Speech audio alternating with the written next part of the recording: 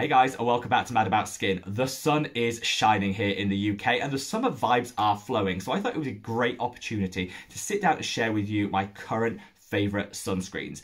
These are the sunscreens that I can trust, the ones that allow me to go out there and enjoy the weather, go for picnics, walks on the beach, enjoy some time with friends, knowing that I've got that locked in, guaranteed protection, and that my skin has everything it needs to fend off the UV rays. Obviously, you know, there's been a whole lot of change in the last year in terms of sunscreens, but some of these are my tried and tested favourites from last year, and some of the reformulated products that have snuck into my skincare routine and I'm honestly loving so much.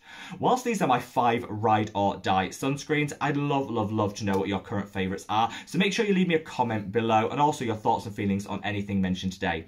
While you're down there, if you want to give this video a big thumbs up, it really helps the channel. I'd love you forever. But that's the waffle out of the way. Let's cut all of that and delve into my five favourite sunscreens of 2021. Now, hot in at number one is this product, Niod Survival. Now, I know I've carried this over from my favourites of last year where I used to fangirl about it all the time.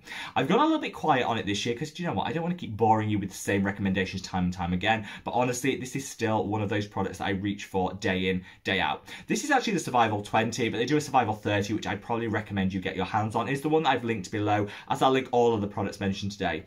This is what I'd call my day-to-day -day sunscreen. It's got 15 different antioxidants in here which work well with the SPF to just double down on that protection your skin's getting, which I love, but also it goes on beautifully on the skin. I'll do a little demo because it goes on almost like, it looks like a BB cream, but that's just the natural coloration of some of the antioxidants in here. And it blends in pretty nude on the skin. For my skin tone, you'll notice zero white cast, even though it is a purely mineral sunscreen. If you can see that, it just blends perfectly. It gives a beautiful veil of, it almost feels like velvet on the skin. It gives the most stunning finish to the skin. And you can apply makeup after like a minute of applying this. Let it sink in. You can apply your makeup. And honestly, every day is a good makeup day when you incorporate this product alongside your makeup. So, so good. The reason I call this my like day-to-day -day sunscreen, for the days where I'm not getting that intense UV radiation and sitting out in the sun or anything like that, is because with it being a slightly more expensive product and with it have such a gorgeous finish, you tend not to apply a whole lot of the product.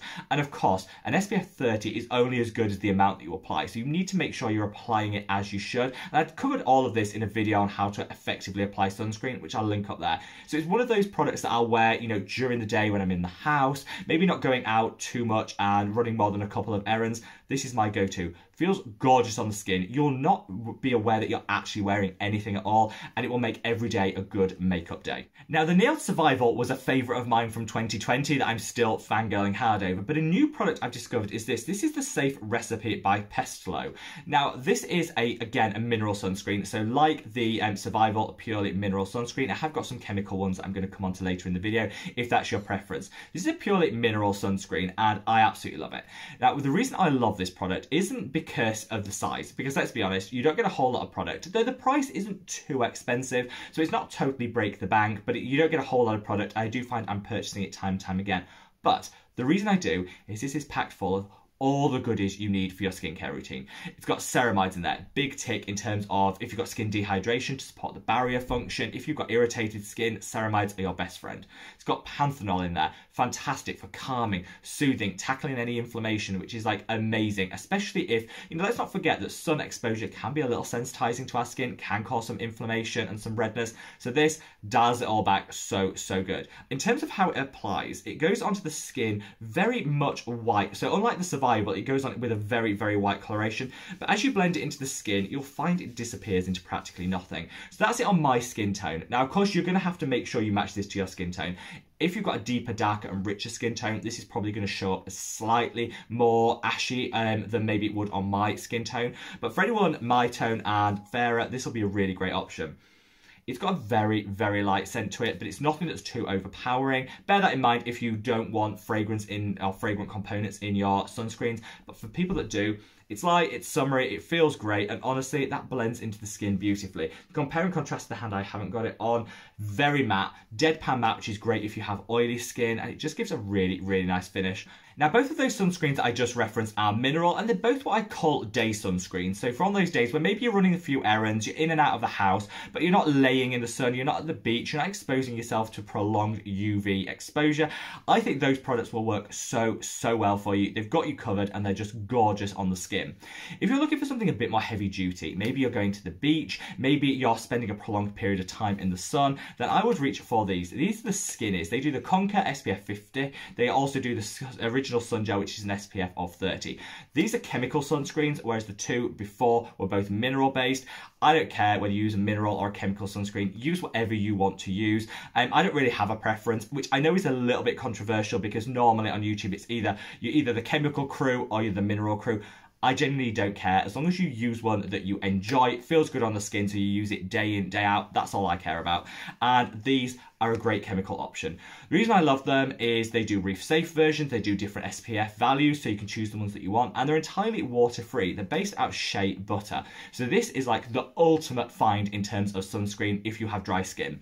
If your skin is perennially dry, there's nothing you can do to tackle that dryness these will be your best friend. That shea butter is nourishing, it enriches the skin, and it gives a beautiful veil of hydration. It's a totally, totally unique formula that I honestly haven't found anywhere else. And even on my super oily acne prone skin, I find that, you know, it doesn't break me out, doesn't clog my pores, and that is just so, so rare to find in a sunscreen. The one thing I'll call out, and the only reason I don't use this every single day, is on oily skin, it can come off with a bit of a sheen to it. So whereas the two before were definitely deadpan matte, this has a more of a glossy sheen to the finish, which some people like, but if you're oily like me, you don't need any more sheen in your life. I'm to try it on my other hand, because, you know, I don't want to pack this hand with too much sunscreen, so I can show how it applies. It goes on like a balm. It almost has like a cleansing balm texture. You work that into the skin and honestly, it feels instantly fabulous. Zero fragrance to it, so great if you're looking for a fragrance-free option, and that is how it applies. Can you see, compared to the matte, you get a little bit, you get a very, very light sheen to it, which some people do really love. I guess you could powder over it if you wanted to take that down, for the beach. When I'm having a picnic with friends, I'm at the beach or whatever, I don't care. I just want that locked in protection and this does it for me every single time. Now, I quickly wash my hand off camera so I can keep testing it because I do want to come onto this product, which is fourth on my list. This is the Make Prem UV Defense Fluid. Anyone that's watched this channel recently probably knew this was coming because I've been fangirling hard about this product and it featured in my top 10 skincare of 2021 so far, I'm going to leave a link to that video up there if you want to see some of the other recommendations. I just love this. This is actually a hybrid sunscreen. So before I said chemical versus mineral, you know, it's all up in debate. Usually people prefer one or the other. You can get the best of both worlds. I love this product. It's the updated from their purely mineral one, which is now discontinued, and I think it gives a nicer finish. Like um, the Safe Recipe one, it also has ceramides and panthenol in here, so it calms, soothes, and hydrates, and it's just an all-round great product. In terms of how it applies on the skin, it's almost got like an ivory finish to it, if you can see that. Um, it blends in. I find you have to work this one in a little bit more than you do any of the others that I've mentioned to avoid that white cast, and so it might not be applicable for people that have very deep, dark or rich skin tones. But for anyone that's my skin tone, they can work it into the skin for maybe 30 seconds and again it disappears. So compare that to the Skinnies, which is a little bit more on the dewy side. This is definitely slightly more matte, but it's not that deadpan matte that the old Make Prem formulation was. Much more hydrated, and so I'd say it's applicable for just about every skin type. Now, finally, I'm going to call out this product. This is the Calamine Secret Sunblock by um, MK Secret. So, I wasn't a big fan of this when I first tried it, and that's because it has got a lot of fragrance in. However, I do really love the fragrance, and I also love the other ingredients are in here. It's got a really low dose of niacinamide, which is great as a B vitamin to calm the skin and can also help with evening out the skin tone over time, which is fantastic. And it's also got some really nice soothing ingredients like calamine in there, which is calming, soothing. So it's a really great option if you have sensitivity. The issue is the fragrance means this isn't really applicable for people with sensitive skin. But, you know, even people like me that aren't sensitive to fragrance can have those sensitive moments, and so this is a really great option for that. It's classed as a tone up sunscreen, so it gives a very like brightening to the skin, which means it won't be applicable for anyone that's got a deeper, darker or richer skin tone than myself. I would probably go for the Skinnies or I would go for the Survival by Niod. Both of those would work better. This definitely gives a brightening to the skin, which is quite nice. If I blend this in, I'll show you what I mean in terms of how that works. So if you can see, this is the one with the K Secret on, this is the one with nothing on. And you can see it gives a very light brightening because it goes on with a pinky hue.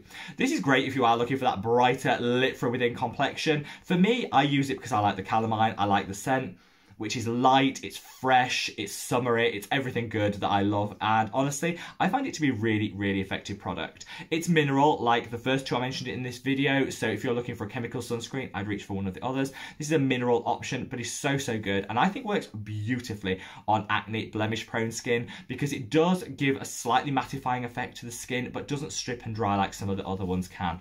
Now, while these are my five favorite facial sunscreens that give a gorgeous texture, you want to apply them. They are that good. I am going to call out that none of them are the cheapest on the market, but you don't need to worry about that because you know what? I've always said sunscreen isn't exclusive. It shouldn't be so priced that it prices people out of the market. There are some great affordable sunscreens, and I'm going to leave a link to my favorite tried, tested, and independently verified drugstore sunscreens. That's linked up there. Definitely promise me you'll check that out because if you're worried about the price point of any of these products, it's not to be exclusive and to say to people if you can't afford good products, there's no point using them. This is definitely not the message. You reach for that video and all of the ones mentioned in there, some of which are as cheap as $2. Honestly, it will give you all the protection you need. These are the ones that I'm fangirling about at the moment. And if you know you have a little money to splurge and you want to enjoy a slightly different product, maybe a unique formulation, these are the ones that I go for. But definitely don't feel that you can't afford sunscreen. Reach for those drugstore options that will honestly, some of them stunning. So definitely check out that video. Wherever you are in the world, guys, take care, look after your skin, and enjoy that summer sun. Goodbye.